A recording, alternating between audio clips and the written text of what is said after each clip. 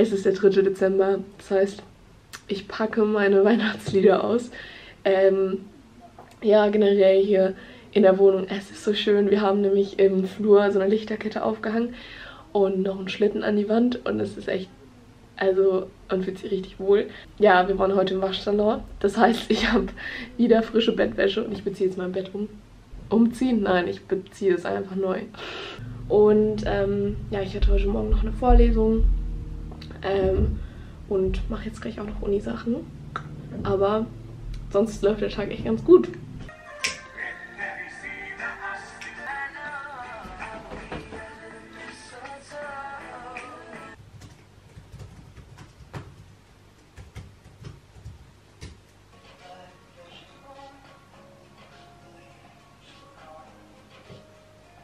Ich bin gerade eben aufgewacht. Ähm, ich habe richtig gut geschlafen. Ich habe gestern Bente gesehen. Das hat mich so gefreut.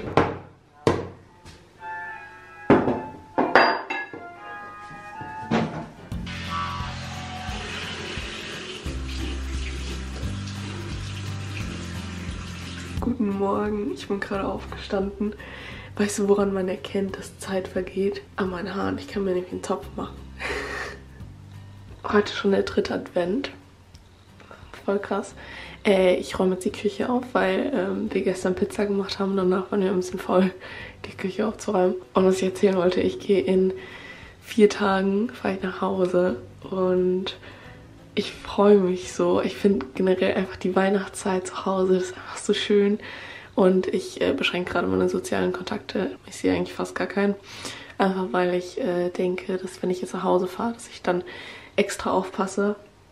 Ähm, ja, ansonsten muss ich heute noch ein paar Uni-Sachen machen. Das klingt immer so, als würde ich die ganze Zeit Uni-Sachen machen, aber das stimmt eigentlich nicht. Ähm, gestern habe ich zum Beispiel kaum was gemacht. Da muss ich einfach ein paar Sachen machen. Ähm, jo, und jetzt räume ich die Küche auf, wie schon gesagt.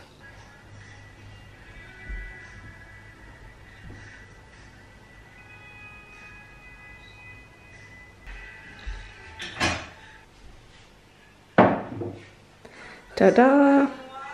Es ist wieder sauber. so, jetzt mache ich mal Uni-Sachen. Ich habe noch nicht gefrühstückt, aber ich warte, bis meine Mitbewohner wach sind.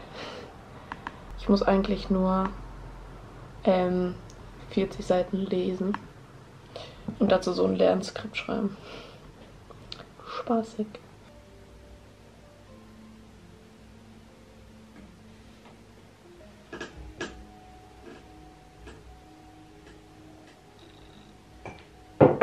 Ja, ich glaube, das ist aber nur am Anfang, oder? Wenn noch nicht an dem Kugeln sind, die Tochter.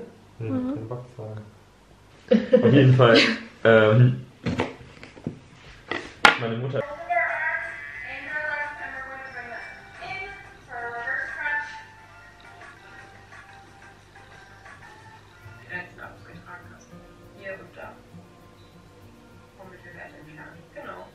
Ich gehe jetzt erstmal ein bisschen laufen. Paula, Carlotta und Moja, wir haben so eine Gruppe auf Instagram, in die wir so Bilder und Videos reinsenden. Und Carlotta und Paula, die waren heute Morgen schon joggen und ich so. Und ich habe mich inspirieren lassen und gehe jetzt auch joggen. Danach, also in der Stunde, habe ich eine Vorlesung. Sonst habe ich auch noch, also ich habe insgesamt zwei Vorlesungen, ein Seminar heute. Und morgen fahre ich nach Hause. Das heißt, ich muss noch packen.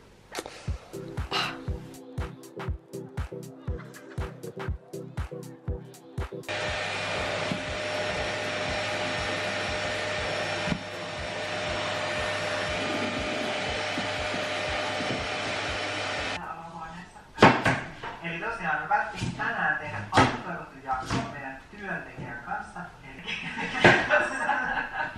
voin yksinkin höpöttää.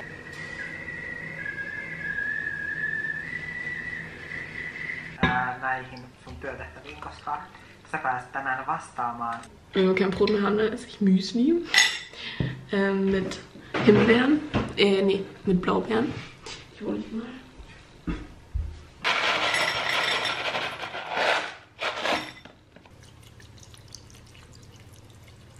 Und ähm, hör dabei meinen Lieblingspodcast. Es ist ein finnischer Podcast, der heißt All Over One. Und er ist so lustig. Also, falls du Finnisch verstehst, schau da unbedingt vorbei. Die Sonne war schon so lange nicht mehr draußen. Also blauer Himmel.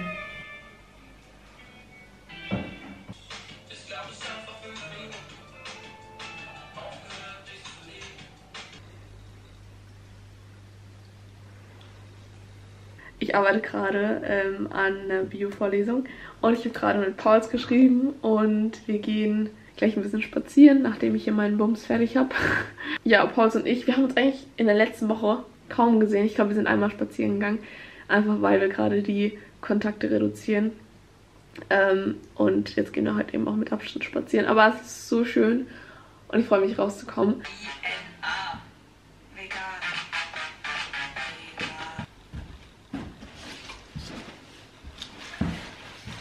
Ich merke jetzt schon, wie meine Socke so runterrutscht.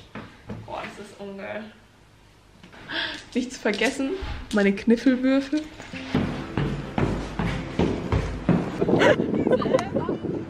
Ach, ist das schön. Okay. Okay, okay. Sag mal. Schon wieder. 1, 2, 3, 4, 5. Immerhin gelb.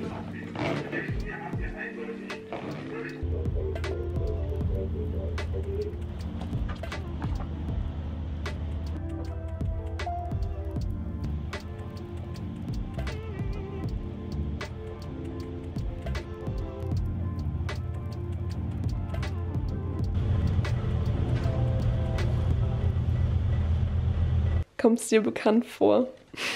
Ich bin jetzt wieder zu Hause.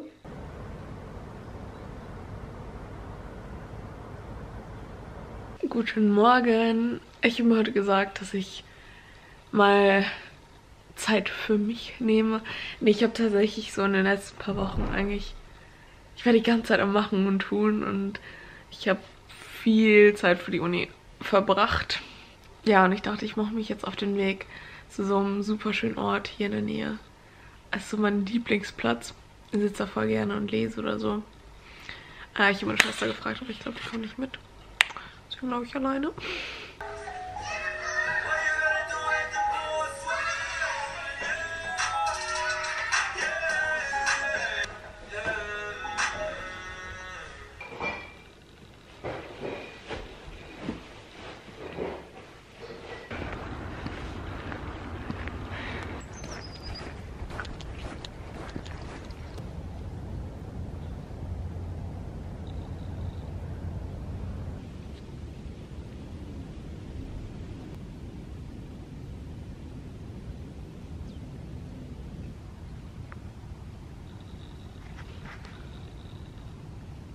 Null. Sieht ein bisschen aus, als wäre ich in der Kirche. Aber nein.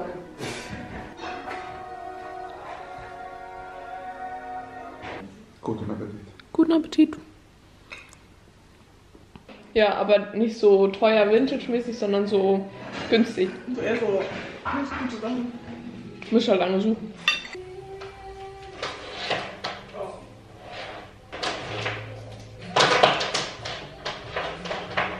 It's a mess.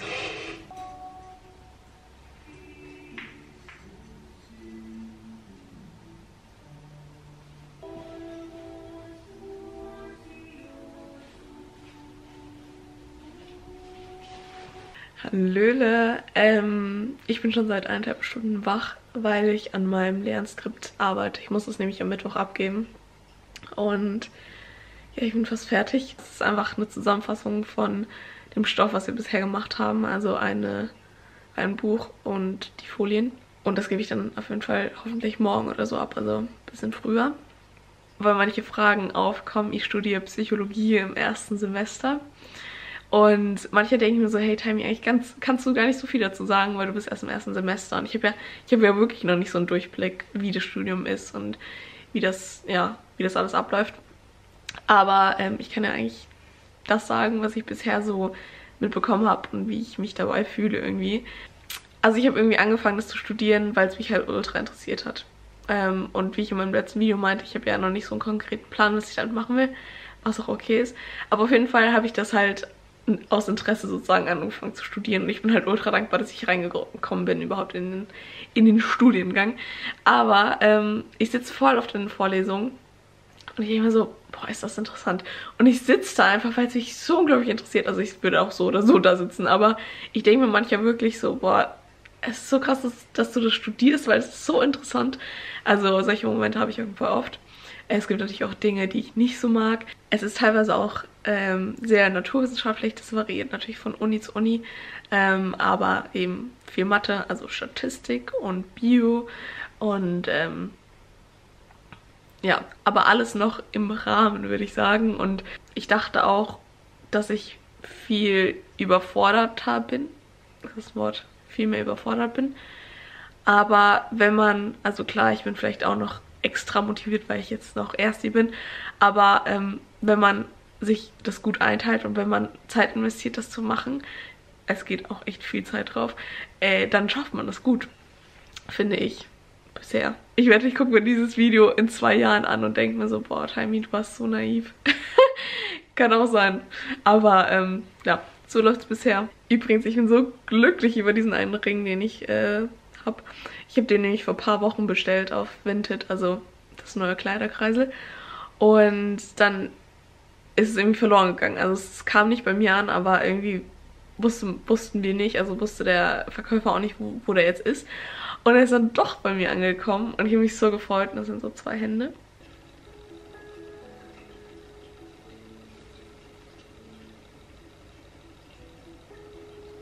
Ich habe mir gestern ähm, vorgenommen, heute joggen zu gehen, aber es ist so ekliges Wetter. Ach, vielleicht gehe ich doch. Ich weiß es noch nicht. Mama hat übrigens für meine WG, für uns drei solche, solche Hausschuhe gemacht. Süß.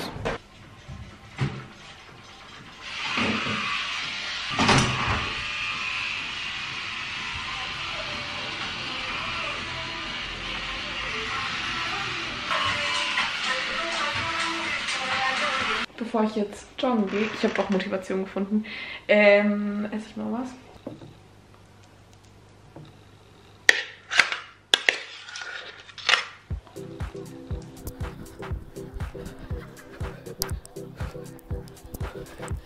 Und anstrengend war. Ich glaube, ich bin vielleicht 10 Kilometer gejoggt. Jetzt geht's duschen.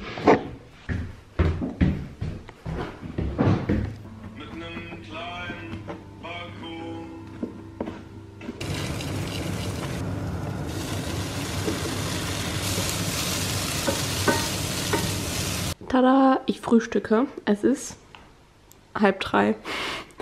Äh, ich habe hier auf jeden Fall meinen Tofu Scramble mit Tomaten, ein paar Oliven.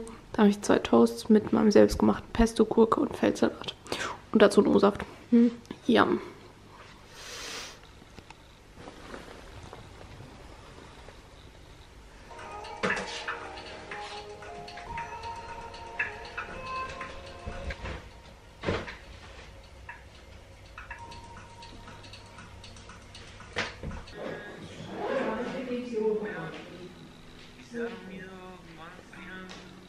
Ich speichere jetzt dieses ähm, Skript ab und schicke das ab. Jetzt gucke ich mir das nochmal an. Guck mal, so hätte es ja. Ah, doch, es hätte ja so gepasst. Ja, ich finde es auch viel schöner so. Aber ich denke mir so. Äh, für Bente.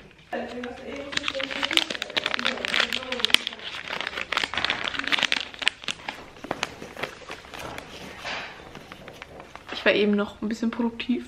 Ich habe, ähm, habe ich nur gemacht? Ach so, ja, genau. Also dieses Skript habe ich abgegeben. Ich bin sehr stolz auf mich. Dann äh, habe ich für, das klingt schon wieder so cool und fancy, aber ähm, wenn man so Kooperationen macht, muss man halt eine Rechnung dann dahin setzen, damit man das Geld dann sozusagen bekommt. Das habe ich gemacht und abgesendet. Jo, ich hoffe, dir geht's gut. Ich hoffe, du feierst ganz, ganz tolle Weihnachten mit deinen Liebsten, aber pass auf dich auf, pass auf andere auf. Ich sage das jetzt schon mal, weil äh, ich es natürlich nicht schaffe, vor Weihnachten noch irgendwas anderes rauszuhauen. Wieso, wie ich mich kenne. Ähm, deswegen sehen wir uns wahrscheinlich irgendwann wieder. Vielen, vielen Dank fürs Zusehen und wir sehen uns beim nächsten Mal. Tschüss.